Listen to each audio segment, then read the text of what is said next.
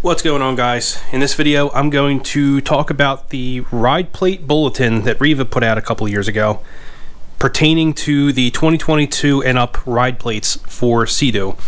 Uh, basically what the bulletin says is some ride plates, as you can see here, were kind of laid or cast in a way where the bottom of the ride plate does not kind of belt up at the very end compared to what it would look like on a good ride plate, which would cause a loss of top end speed. Now, it's not a design flaw because it doesn't affect the ski in any way, and it certainly doesn't keep a ski from hit hitting its maximum advertised speed limit. But if you're the kind of person that has a speed ride, or you have a tune, or something like that, this is something that could affect you. Now, I did this service on my ski last year when I bought it, and I was able to gain it was one or two miles an hour, I believe. But the bigger gain for me was the IBR stops. I did make a video on that already. This is just a follow-up to that other video I made explaining how I got to the speeds I have on this ski with very minimal work. And this is one of those things I'm going to focus on today. So uh, quite a few people did reach out to me after I posted the last video asking to go more in detail about this. Um, and I'm going to show you how to, one, identify if your ski has an affected ride plate, and two, how to fix it for basically free. Riva does offer a service where you can remove your ride plate and send it in to them and they will fix it for you, which is perfectly fine. The downside is that you know the ride plate on a Sea-Doo is pretty difficult to get out uh, there is coolant that's being passed through here. It's part of the cooling system. You have to take out the jet pump. You have to take out uh, the cooling system, the hoses from the inside. You have to remove the intake grate. There's a bunch of hoses, bolts, and there's a bunch of uh, marine sealant that's holding the ride plate in. So total nightmare to remove. And then on top of that, you still have to pay to ship it to Riva. And then of course you have to pay to have the service done as well. So I've seen some people pay north of eight, nine hundred dollars, including the shipping and everything, plus the time it takes to remove the ride plate, and then you got to refill the cooling system and everything. For one to two miles an hour, it's really not worth going through all that effort, especially when you can do it yourself. So, the first thing I'm going to do is crawl under the ski, and I'll show you how you can identify if your ride plate is affected or not. All right, so before we get under there, I do want to show what you need in order to measure this. One, you're going to need some kind of source of light. It does not have to be a stand light like this one here. It could be a flashlight.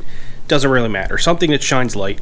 And then you have to have a straight edge. And it has to be a true straight edge. I know some people will use a uh, level, a plastic level. The problem with that is that the plastic isn't always straight and it's going to throw off your readings. You'll never get the balance or anything right here. So ideally a flat edge piece of metal will work perfect for this. This is way overkill, but it's the closest thing I could find. Again, I did this service last year. I have no idea where my straight edge is. We're in the middle of a house renovation, so this will work for now.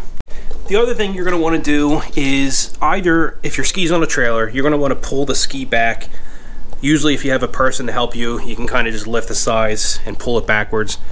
Uh, or have the ski on a cart, and I'll show you why. I have another ski out here that's on a trailer and if you look at it, there's no way you're going to be able to shave the ride plate when it's over the trailer. So you really kind of have to pull the ski back. I've done multiple ride plate modifications with the ski on the trailer and you just have one person that kind of pulls here another person over there obviously make sure your winch is loosened but you want to pull the ski back just so you have access to that ride plate and you can see here I have another ski on a cart here and there's full access to the ride plate. You really need full access to the ride plate in order for this to work.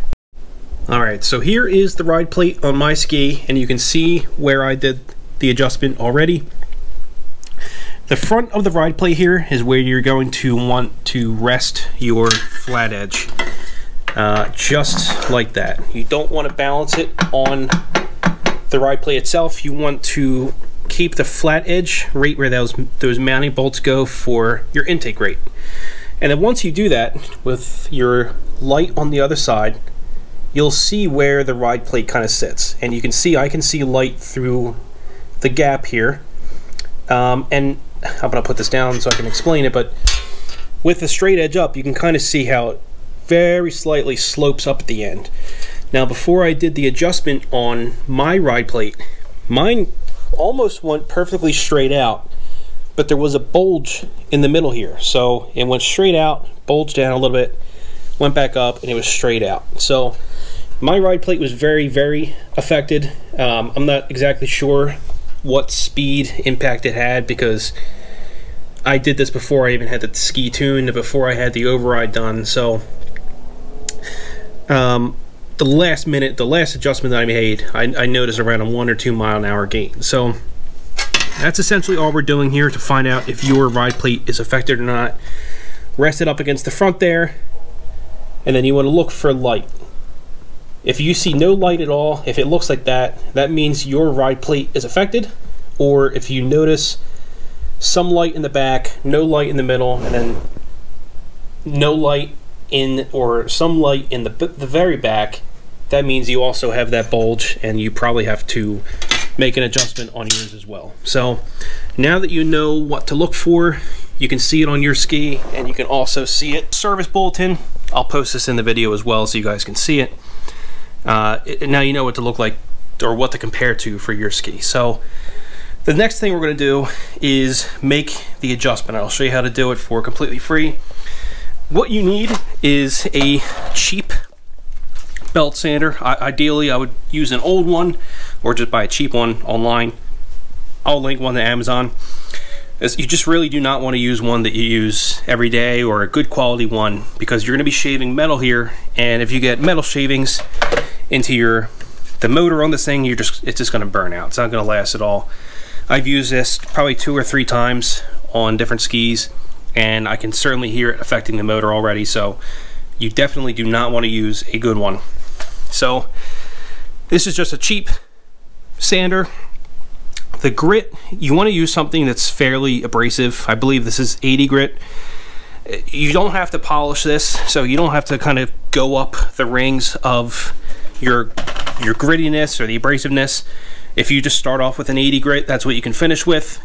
Um, there's no need to polish it or anything like that when this is all finished. So go with the most abrasive pad that you can find and I would get one or two of them because you will burn through it rather quickly. So that's pretty much it. That's all you're really going to need for this. Just a cheap belt sander and the most abrasive pad you can find. So let's go ahead and we'll crawl under and I'll show you what needs to be done to make this adjustment. All right, so right off the bat, you don't want to be an idiot like me. You definitely want to wear some prote eye protection and ideally a mask. There's a lot of fine metal shavings that are going to come off. I already did this, so I'm really just going to do a couple passes, so I'm not too worried about it. But you will have a lot of aluminum shavings everywhere, so definitely make sure you have some eye pro and some mask.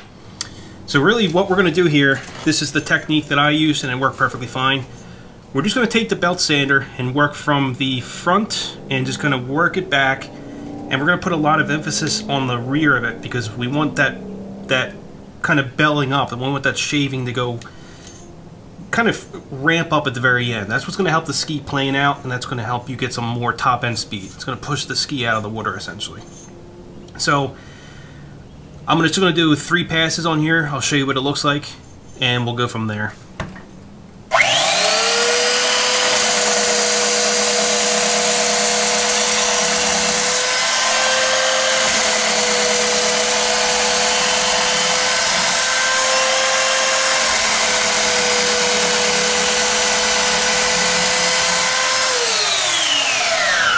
All right, so you saw there, this is this pad is wide enough that I can do this entire ride plate in three passes, just one, two, three, three columns essentially.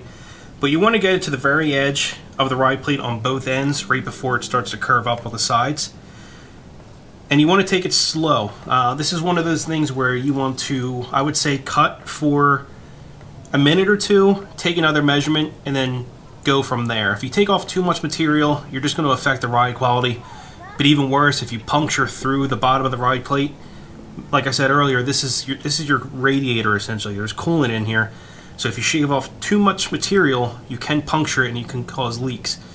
Um, now, to be fair, this, this, the ride plate is very, very, very thick. You would have to be probably shaving here for two to three hours in order to get through it and cause any leaks. But it's still the same thing. You want to take the process very, very slow, cut for two minutes, take another measurement, see how much more you need to shave off, if you need to shave off any more, and then repeat the process that way.